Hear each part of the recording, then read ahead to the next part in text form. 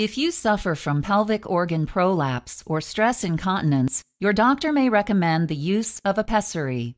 The muscles of the pelvic floor and other supporting tissues hold your bladder, uterus, and rectum in place.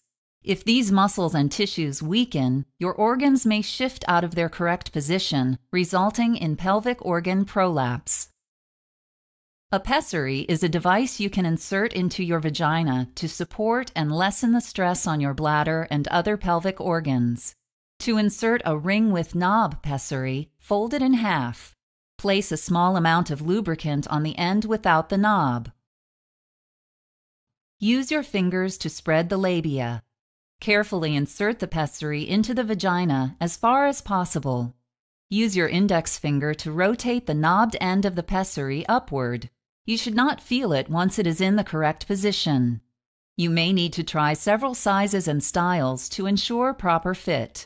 Because even the best fitting pessary may cause irritation, your doctor will want to check you every three to six months.